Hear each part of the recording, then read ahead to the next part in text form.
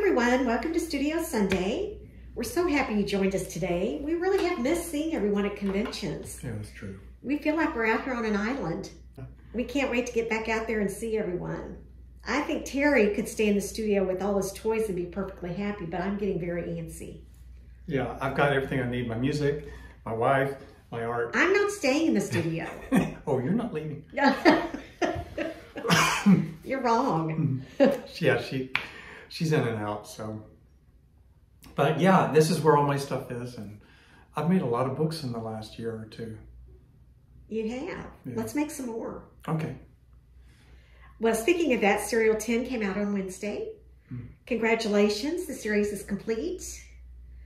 We hope you guys enjoyed the series as much as we did. I know Terry had a great time working on it. The last trade, Cat and Mouse, will be out at the end of the month, and the omnibus should be out in late March. We're at the mercy of the supply chain at this point, so we're just keeping our fingers crossed and hoping for the best. Yeah, you know how that works now. But yeah. um, well, I think I think we're doing pretty good. I think we have a schedule we can count on. I, I, I wouldn't say that out loud. I'm so sorry. I said that out loud. sorry. I don't want to jinx anything, but. Another new book, the 2022 sketchbook, has been solicited and is slated for June. Um, we will do a soft cover for Diamond and for the retailers, and we'll also offer a soft, um, a just through Abstract Studio. Some more on that later as uh, the time gets closer. June is five months away. So we've got a while to talk about that one. Isn't it strange that we have to solicit and think ahead that far in the book publishing? And, you know, novels go a year in advance. Yes, they do. I mean, I can barely handle five months.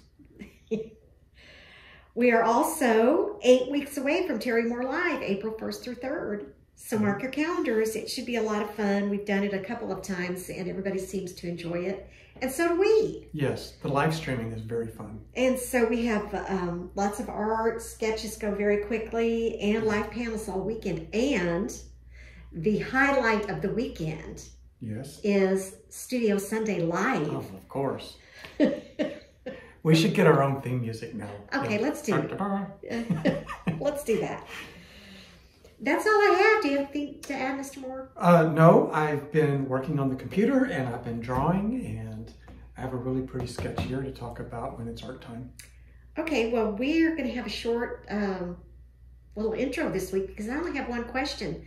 I need some questions from our loyal followers out there. Okay, I, maybe I've answered every maybe, question there. Maybe, maybe that's it. You've come to the end of the internet. I've come to the end of the internet and not once did anybody say, why is there air? You know, or anything like that. It was all comics questions. So That's right. We, we have a very focused agenda. Okay, well, let's get on the hot seat for our one question. All right, I'm ready. How are you doing on your big bottle of ink?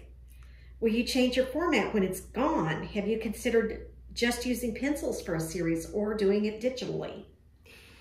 What is your, what is your take on all that? I love my big bottle of ink. And okay, so this is vintage Pelikan ink. Uh, the new ink is watered down for um, health reasons, you know, EPA stuff. But this is the old stuff that was nice and thick, and that's how much is left in it. Well, I think you're giving them the bottle more credit. It's actually down to here. Yeah, it's down to there. Yeah.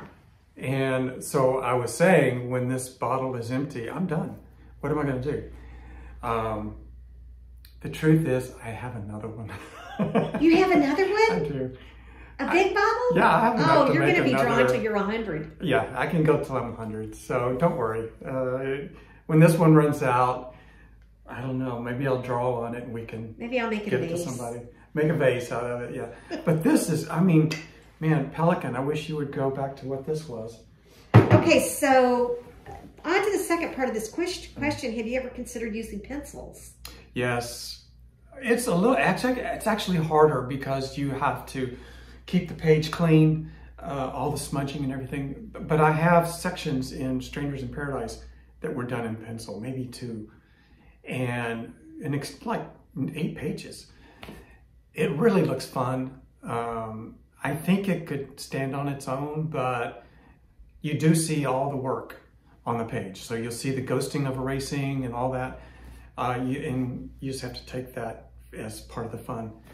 it's a lot more work to keep a pencil page clean than it is to draw whatever you want with pencil, ink it, and then erase all that smudgy pencil stuff. Yeah. It takes longer, um, but it's prettier. I, you know, I, I naturally draw in pencil. Um, I ink only because I, I have to make a comic, but um, you can get some, you know, the tones, you know, and the grayscale and all that. It really helps things pop. I like that. And then for the inking, I have to use inking tricks, you know, cross hatching, line work. You get into all the classic Illustrator stuff. That's hard. That's hard. It's hard. It makes my brain hurt. That's hard. It's hard. Okay, well, so it looks like you're just going to go back to inks. I have enough ink to carry me uh, farther than I should go. So I think I'm going to be okay. Thanks for asking. Okay, well, that's it for me today. I'm going to go watch some Olympics. That sounds great. Um, good. And I am going to do a, a, little segment here and talk to you about this drawing that I've done. Um, if you want to see it, meet me right here. Okay, bye. Bye. So this is Tambi from Strangers in Paradise.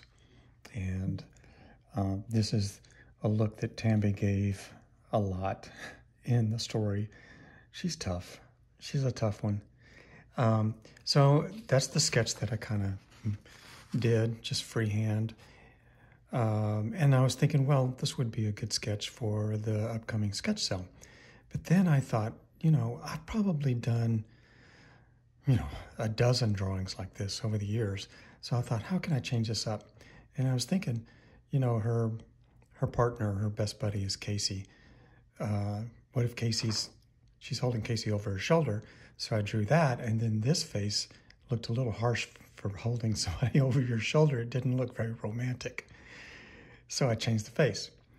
And in order to change the face, uh, what I did was I got out my little my little light box, you know, the little the small one um, from Comic Master Tracer LED A4.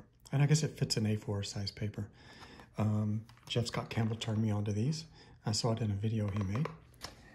Very nice to have on your drawing board or your lap. And I got Tambi transferred over here, and then I kind of cocked her head a little more and got her to smile. Um, and then I drew Casey over her shoulder, and now it's a sweet moment. So instead of the usual, you know, I'm going to kick your ass, it's more like, oh, no, never mind. I think I'll take this ass. and Casey, of course, they love each other. So um, this is a very fun moment for the two of them.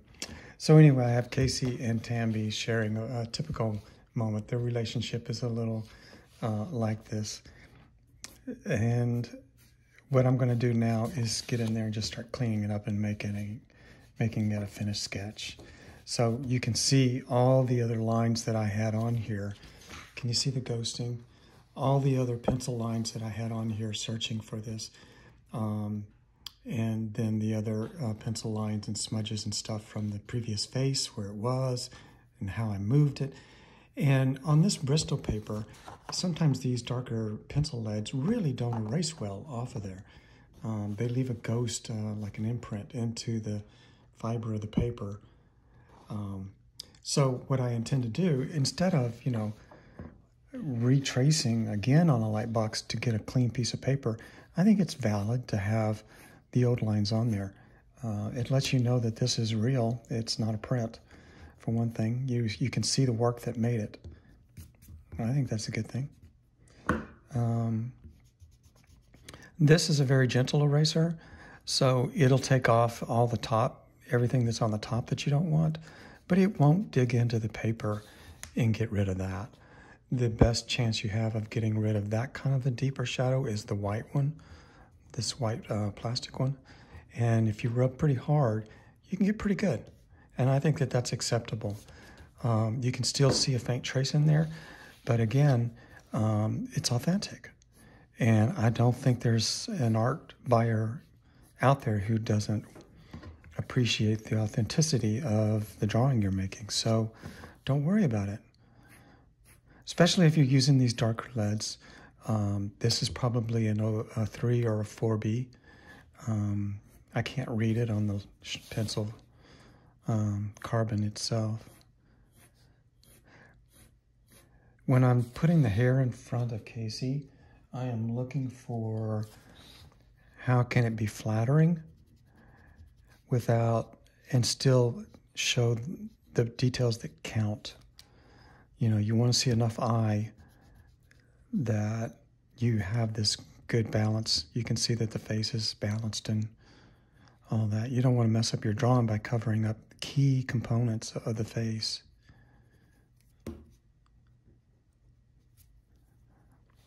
And that's probably it. Every detail is in the right place on Casey. So from this point on, for me, it's just about um, adding uh, the pretty stuff. Like where does the hair go?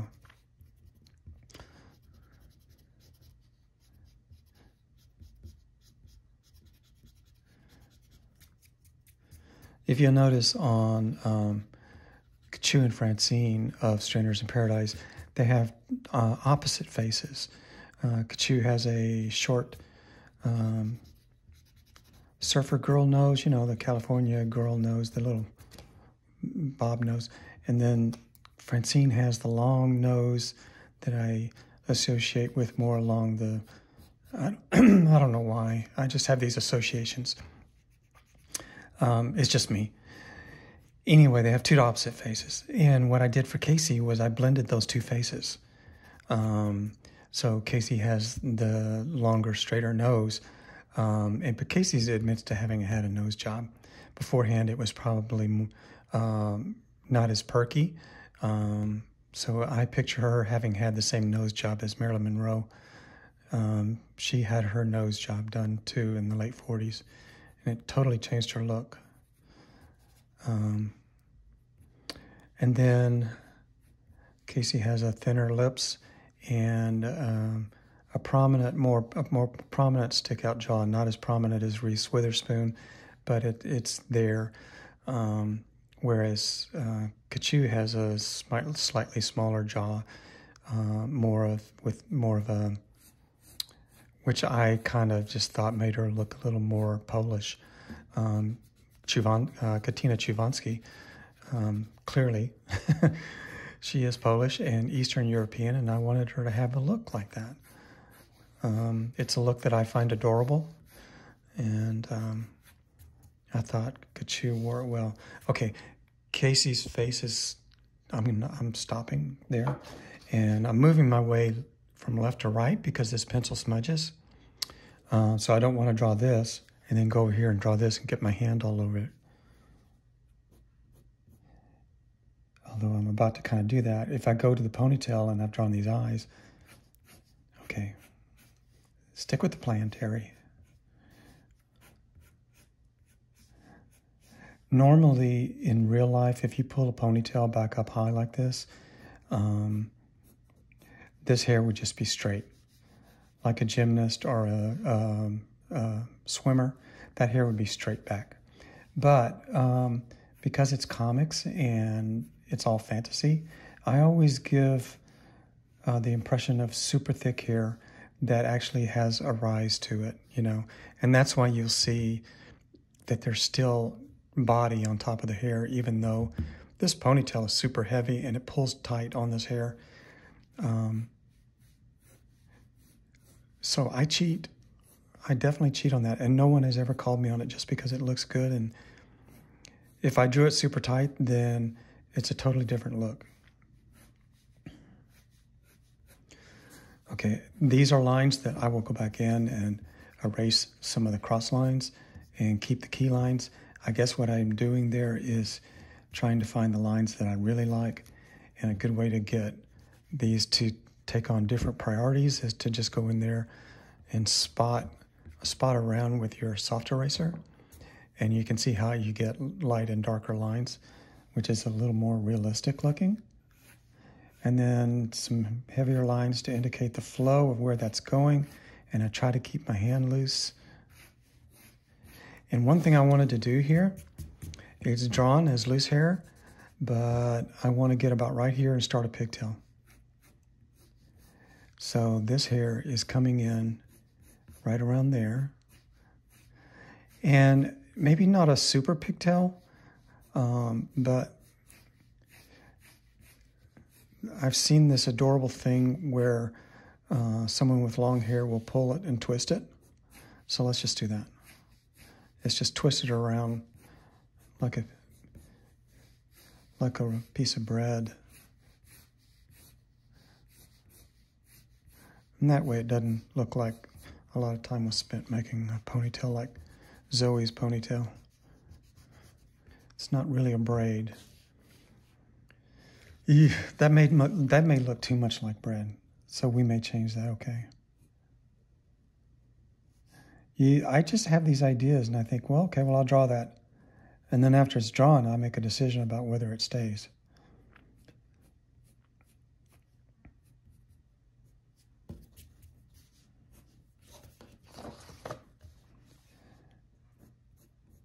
Eyes.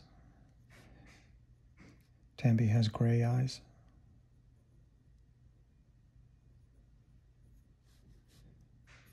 And I'll put a little light highlight at the bottom. Um, I just think it shows a little bit of life.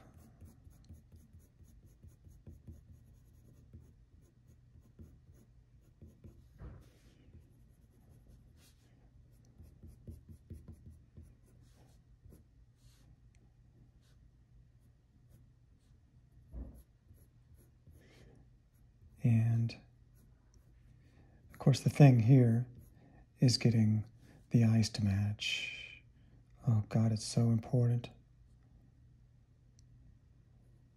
I've spent my whole life trying to get eyes to match. Once the eyes match, um, it pulls you in.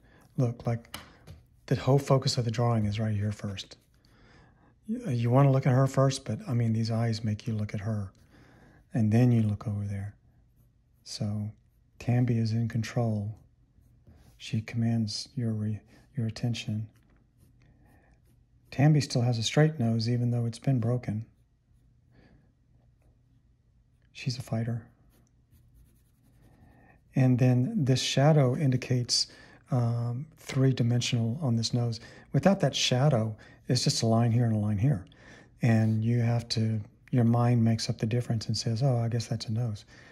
With a shadow there, it it looks a lot more like a triangle sitting on top of a plane.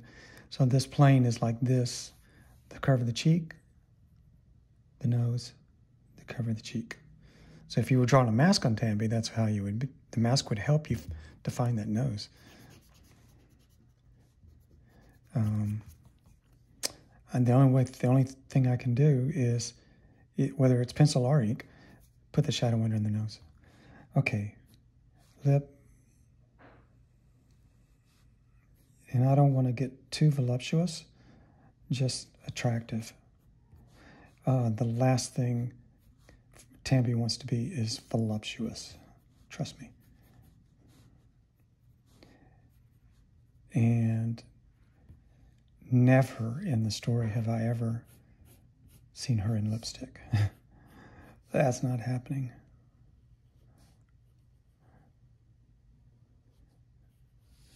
Maybe if they're in a very cold location doing military operations, chapstick.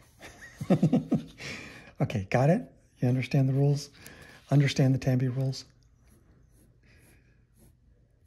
Okay, right here is the shadow again, same as the nose. I put the shadow underneath there just to show the, the depth of the chin. Um, the back of this neck is not something we can see. It's actually over here, and it's coming back uh, behind this ponytail. Uh, it's coming back like that. And it would not be a curve, a concave like this, because Tambi is very fit. Um, it would have, there's a muscle there. so if you ever got to see that neckline right there, it would be like that. Um, you know that there's a very strong muscle here and here going to the uh, the hinge of each chin hinge, the jawbone, and they meet about right there. So depending on whether or not you're trying to lift a train or you're just relaxed. It depends on how much you see that. You just have to know it's there. And there's the medulla oblongata, that little dip that uh, Dracula loves. And then the collarbone. And the collarbone is actually a protective ring to keep all this stuff, uh, let this stuff come through. It's like a gasket that lets the neck and the head come through, and it kind of gives it some protection down here where it's very, there's a lot of sensitive stuff inside there. Um, okay, broad shoulders. So she has her, um, I'm sorry, I forget the name of that muscle, but yeah, it's that muscle is pronounced. And then there is a strong shoulder, bunch of bunch of muscles up in here.